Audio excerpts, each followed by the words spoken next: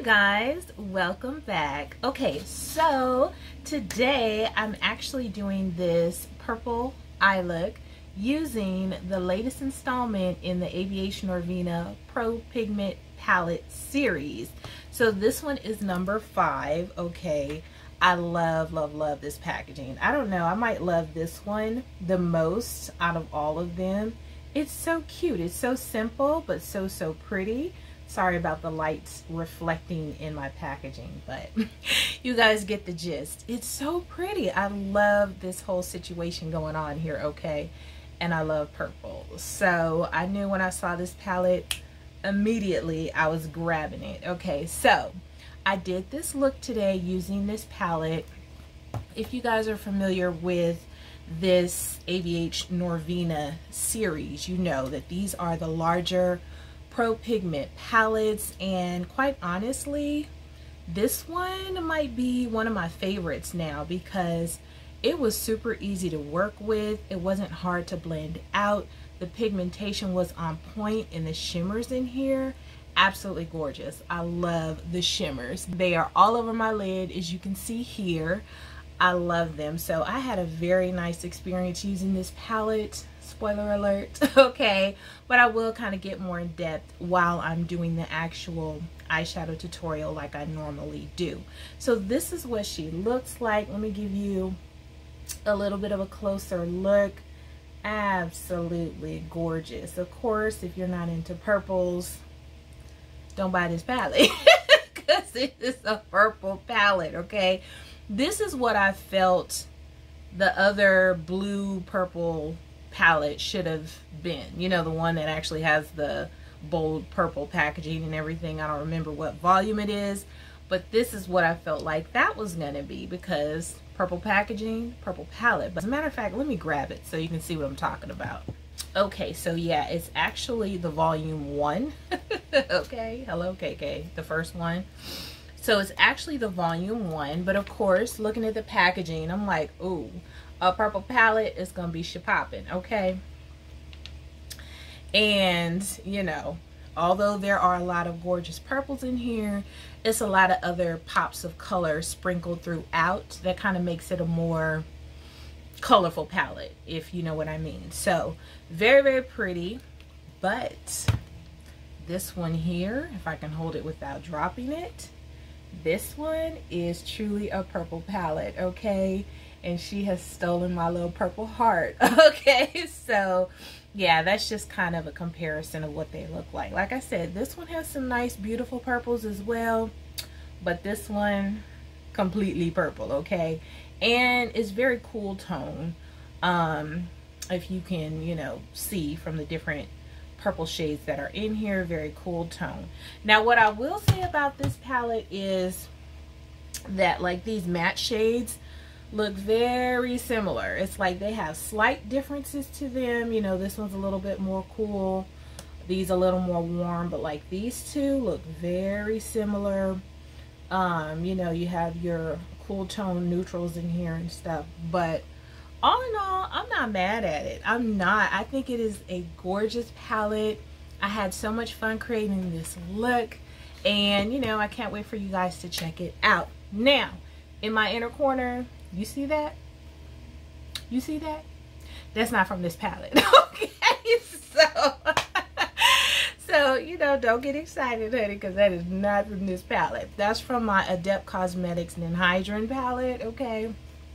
I always keep these palettes close by just for such occasion okay now I did go in with this shade here which is ACI 20 so that is that shade right there and I'll pop that in my inner corners just to add a little pizzazz to this look and I absolutely love it. So anywho that's all I have to say about this first impression of this palette.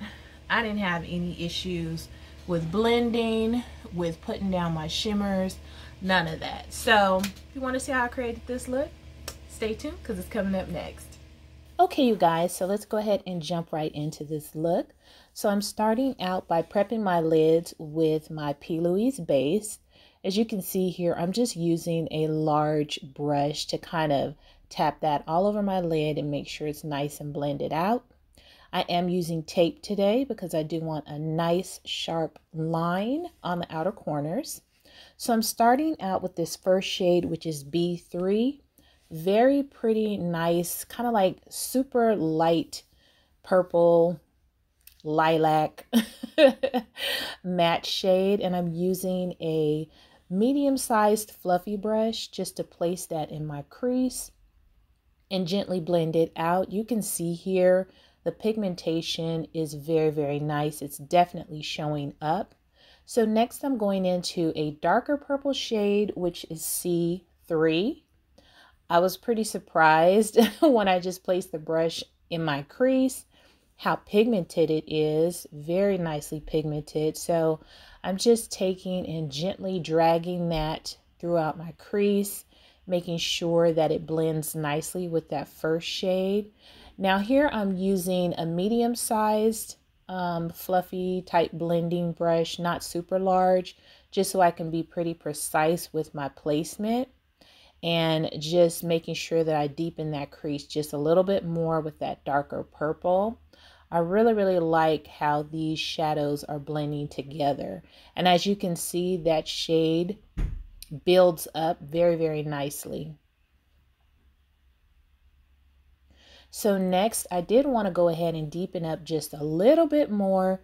So I'm going into the shade E5. It's kind of like a really dark, kind of like bricky toned shade. You know, it kind of still has that purple vibe to it, but it's more of like a dark brown or bricky toned shade. And as you can see, it is deepening up my crease very nicely. I had no issues placing this down and blending that into that darker purple shade. I really, really love how these colors are coming together. It's giving me exactly what I want. And I knew I wanted to do like a cut crease type of look. So just kind of gauging where I'm going to cut my crease as far as where I place this darker shadow and blend it out. So I was very, very pleased with it. So I am using my Revolution Cut Crease Canvas today. And as you can see, I'm just kind of tapping it down, trying to figure out exactly where I want that cut to be. I'll be honest with you guys, this cut crease was a little bit of a struggle for me. I don't know why. It was just like I would get it just right and then it was like it didn't want to act right. I don't know, but eventually it did come together. So now I'm just going in with some of my NYX glitter primer because I want to make sure that these shimmers pop and that they stay in place. And so I'm just placing that all over the area that I did my cut crease on so that I can, you know, prep it before the shimmers. Now the first shimmer I'm going into is E3 very, very pretty. It has like a pink tone to it. And as you can see, I am using a flat synthetic brush to place that down. I noticed with these shimmers that they place very, very nicely when you use your finger. But because I was trying to get it nice and tight in that corner, I did go ahead and use a flat brush for this shade. But as you can see here, it's showing up very, very nicely very pretty and it's laying down very easily on top of that glitter primer. I really like how it came out. Now to add a little bit of dimension to my lid, I wanted to use another shimmer shade from the palette. And so the shade that I'm going into next is C1. Very, very pretty, like, you know, light purple. I can't think of the color that I'm trying to, you know, describe it as. You guys know what I mean. A light, light purple. What is it? Anyway, lavender? Lavender? Yeah, lavender. so I'm using my finger for this shade because I really wanted to see how it would lay down. And as you can see, it's laying down very nicely with my finger. Those two colors blended together very well. Once I laid it down with my finger, I did go ahead with my brush and I placed a little bit on my brush just to kind of, you know, get that precise line where that cut crease is to make sure that, you know, everything just kind of blends together nicely. And as you can see, I'm using the brush to blend those two shades together as well. I really like the shimmers. They're gorgeous. So now I'm just removing the tape that nice satisfying edge there from using the tape. I went ahead, finished my complexion off camera. So now I'm just going in with a regular black pencil eyeliner, taking that on my lower lash line. And to further smoke it out, I'm going into the shade D4 just to add a hint of purple, you know, to that lower lash line as well, just to bring this look together. Nothing too major, just a little hint of purple. Now for that inner corner pop, I am using my Adept Cosmetics Ninhydrin palette, going into the shade ACI 20 and just using a small fluffy brush to kind of brush some of that in my inner corner. And as you can see, it really pops. I like the fact that you can see it more when I turn to the side. Just really, really pretty. Going in with my Thrive Cosmetics mascara on my lower lash line.